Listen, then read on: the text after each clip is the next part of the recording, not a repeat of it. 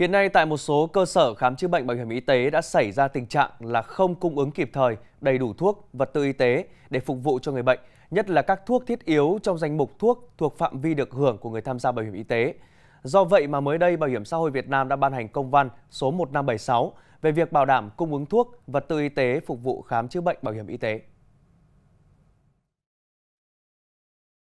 Bảo hiểm xã hội Việt Nam đề nghị Bảo hiểm xã hội các tỉnh, sở y tế, các cơ sở khám chữa bệnh bảo hiểm y tế theo dõi tiến độ đấu thầu thuốc của từng gói thầu tập trung, đấu thầu bổ sung tại sở y tế, tránh tình trạng chậm đấu thầu dẫn đến thiếu thuốc phục vụ điều trị và phát sinh việc mua sắm thuốc không đúng quy định của pháp luật. Tham gia có hiệu quả vào quá trình lựa chọn nhà thầu cung ứng thuốc, bảo đảm chất lượng, tiết kiệm và hiệu quả có các giải pháp cung ứng kịp thời, đầy đủ thuốc vật tư y tế để điều trị cho người bệnh bảo hiểm y tế, tổ chức đấu thầu mua sắm đối với các thuốc thuộc danh mục đấu thầu tập trung cấp quốc gia, thuốc được áp dụng hình thức đàm phán giá khi chưa có kết quả đấu thầu, Đấu thầu mua sắm kịp thời đối với các thuốc nhóm 3, nhóm 4, nhóm 5 của thuốc thuộc danh mục đấu thầu tập trung quốc gia theo phân cấp của Bộ Y tế.